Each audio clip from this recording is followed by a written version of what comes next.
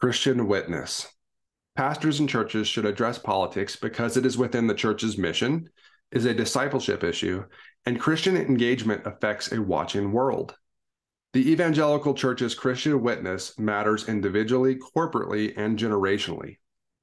Individual witness. Since the proliferation of social media and the increase of heated volatility in politics, many Christians have struggled to best express themselves online.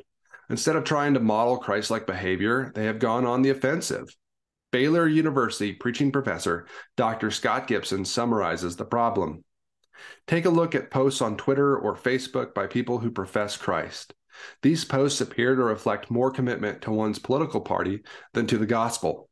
The gospel seems to be absent from their posts. Instead, what one finds is meanness, hatefulness, spitefulness, certainly not characteristics of a maturing, growing Christian.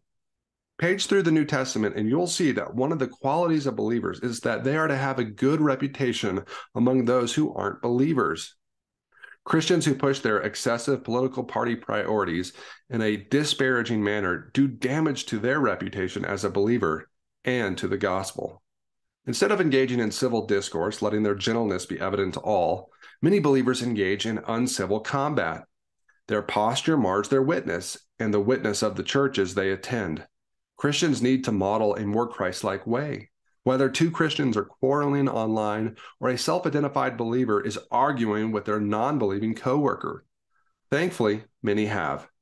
However, we should consider another witness, that of evangelicals as a whole. Evangelical witness. The corporate Christian community should take into account the perception of the non Christian culture it inhabits. If, as some say, perception is reality, how does a watching world perceive evangelical Christianity? The answer should give pastors and churches pause. When protesters stormed the U.S. Capitol on January 6, 2021, a watching world saw what they interpreted as Christianity on full display. One man on the Washington Mall carried a large wooden cross and prayed. Another a poster with Bible verses and a corresponding list of politicians and causes. And others shouted their love for Jesus and President Trump. One man even carried a Christian flag into the Capitol. When the insurrectionists reached the Senate chambers, they shouted Jesus' name, bowed heads, and prayed.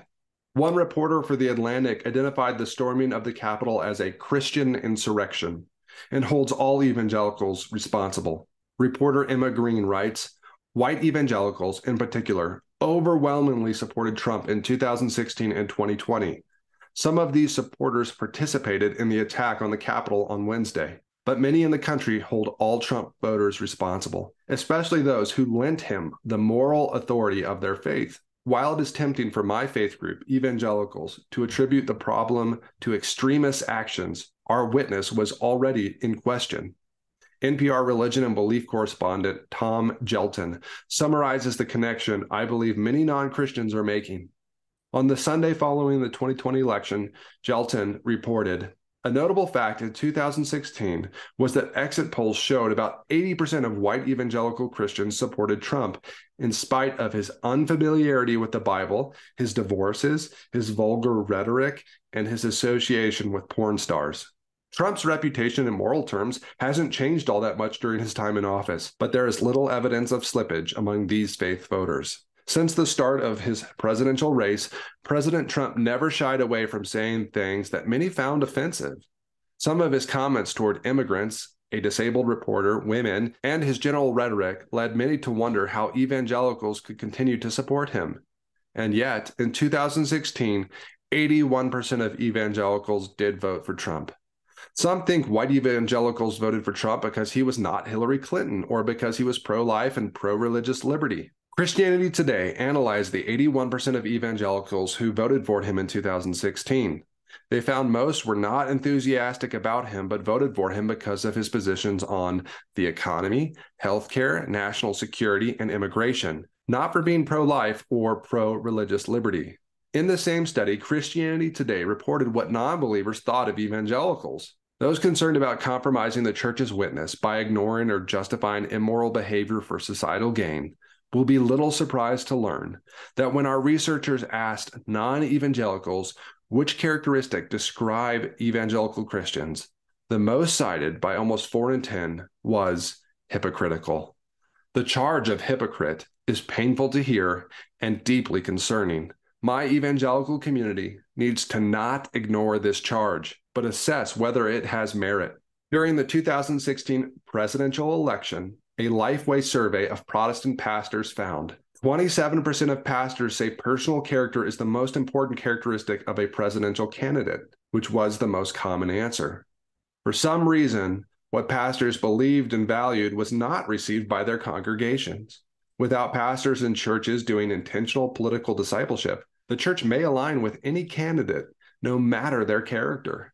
They may do so regardless, but at least ministers will have done their part to make disciples first. Generational witness. The current partisan patterns are also alienating those in the next generation. Quoting American Grace, How Religion Divides and Unites Us, pastor and author Clay Stauffer writes Statistics show that church attendance and religious affiliation among the younger generation, the millennials, are in sharp decline. There could be many reasons for this, but Putnam and Campbell argue that over politicization in churches has been a turnoff to the millennial generation. The politicization of religion has triggered a negative reaction among some, mostly young, Americans. They have pulled away from religion precisely because they perceive it as an extension of partisan politics, with which they do not agree. Millennials see religion tied up with the conservative politics, and their aversion to the latter has led them to reject the former. Many younger believers desire to love God and neighbor, including immigrants, refugees, and those within the Black community. These positions, however, are not typical Republican causes. Over time, if their Christian communities insist that to be Christian is to be Republican, they may watch as their children walk away from the faith.